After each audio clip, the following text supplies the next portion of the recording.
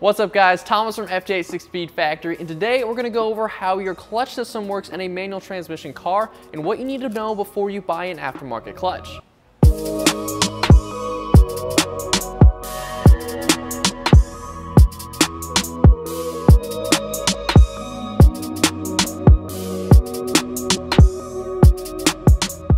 In a manual transmission car, the clutch acts as a linkage between the transmission and the engine. And when the clutch is disengaged, the transmission stays still, but once you engage that clutch, it grabs onto the flywheel and sends power through the transmission and onto the wheels.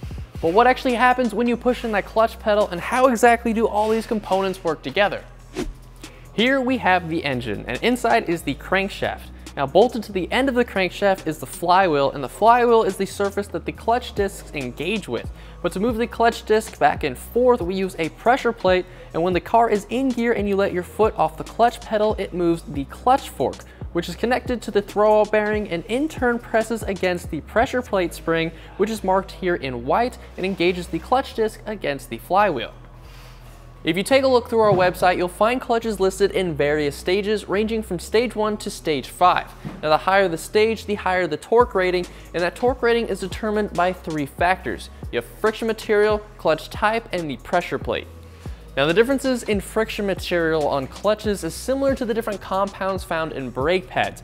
On one end you have ones that are designed specifically for the street, they're great for daily driving, they're easy to engage, they last quite a while, but they don't have as high of a torque rating.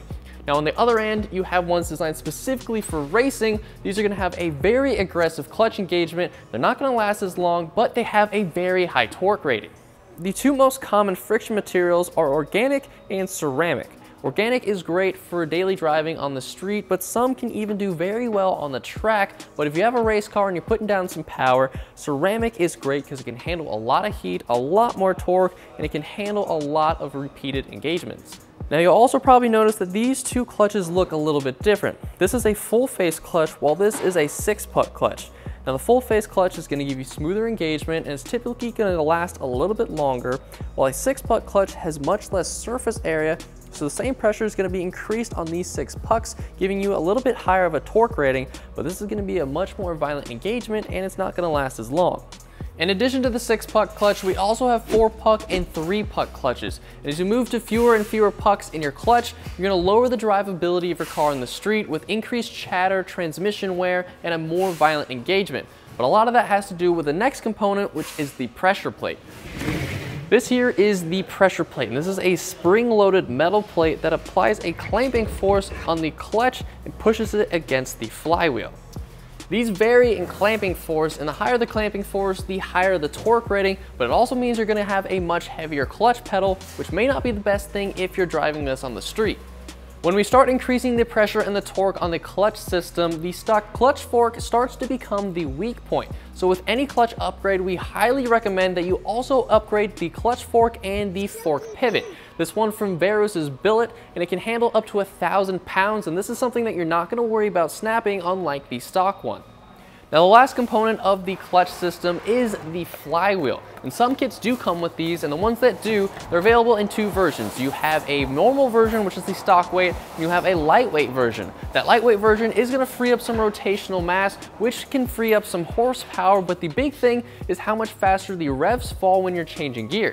Now that's a great thing when you're racing and go down the straightaway, but it's not so great if you have to drive through traffic on the street. So it's one thing you wanna consider.